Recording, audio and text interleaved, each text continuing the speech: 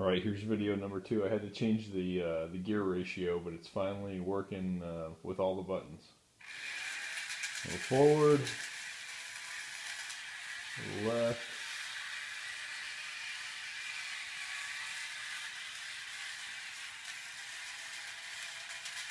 right.